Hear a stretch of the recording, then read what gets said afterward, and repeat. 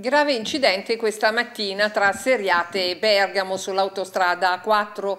Un uomo di 41 anni è rimasto gravemente ferito. Sul posto i sanitari del 118, i carabinieri di Bergamo e i tecnici della società autostrade. Forti i rallentamenti registrati. Anche il comune di Lodi ha chiesto ufficialmente un passo indietro a Claudio Tedesi. Lodigiano, vicepresidente di Linea Group, Tedesi è indagato da mesi dalla magistratura. Il sindaco di Lodi, Simone Uggetti, si è rivolto al sindaco di Pavia, comune per il quale Tedesi è in consiglio di amministrazione di Linea Group, per sollecitare le dimissioni dell'indagato. È ricoverato in gravi condizioni al Papa Giovanni di Bergamo il 64enne ciclista che è stato investito da una vettura a rondò della fiera di Bergamo. L'uomo è stato urtato con violenza e scaraventato a diversi metri di distanza.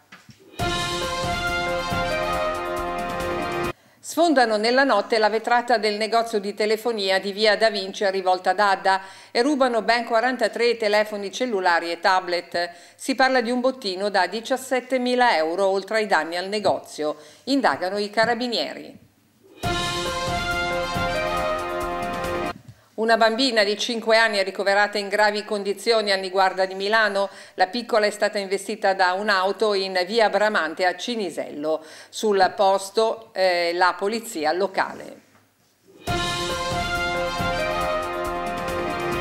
Si è parlato di qualità degli alimenti nel convegno che a Lodi ha aperto l'edizione 2014 della Fiera di Borghetto Lodigiano.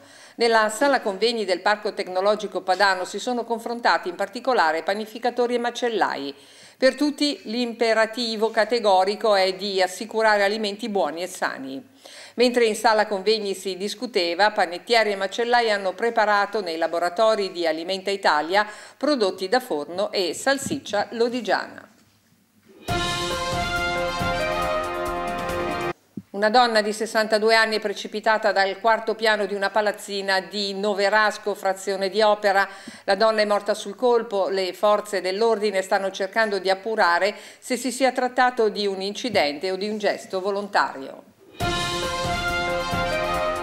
Cambio della guardia ad Arte Fidi Lombardia, il vicepresidente il lodigiano Luigi Milano lascia l'incarico. La decisione è stata comunicata nel corso dell'incontro di presentazione del bilancio 2013 del Consorzio Fidi. I numeri parlano ancora di un settore, quello dell'artigianato, tuttora in crisi.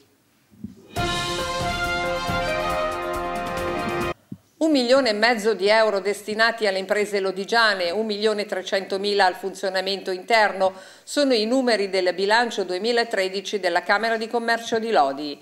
Rispetto al 2012 si registra un incremento dell'8% delle risorse destinate alle imprese. Un 26enne di Chiari è stato denunciato per truffa e furto alla procura di Cremona. A Crema ha fatto firmare un contratto ad una pensionata di 83 anni, carpendole la fiducia e l'ha poi derubata dei gioielli trovati in casa. Fine settimana all'insegna della danza moderna a Lodi.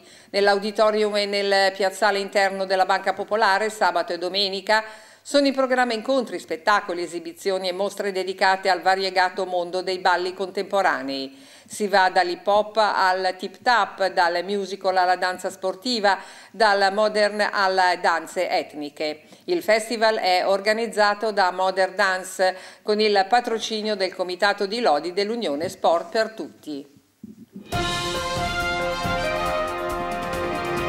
È ricoverato in gravi condizioni al San Raffaele di Milano l'operaio di 38 anni, rimasto gravemente ferito in un infortunio a Sant'Angelo Lodigiano.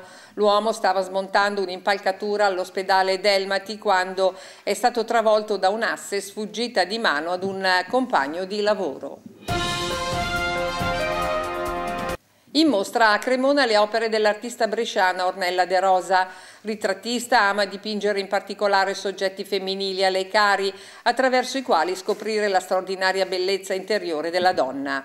I volti descritti dalla De Rosa sembrano quasi uscire dai quadri, ha ribadito il critico d'arte Gianluigi Guarneri, presentando la mostra al pubblico cremonese. Le opere di Ornella De Rosa resteranno in mostra nei locali di Immagine Spazio Arte fino a sabato 10 maggio. È di circa 3.000 euro il bottino della rapina avvenuta al motel di Cornegliano Laudense. Un uomo con pistola in pugno ha minacciato il portiere e si è fatto consegnare il denaro in cassa e poi fuggito facendo perdere le proprie tracce. Indagano i carabinieri di Lodi.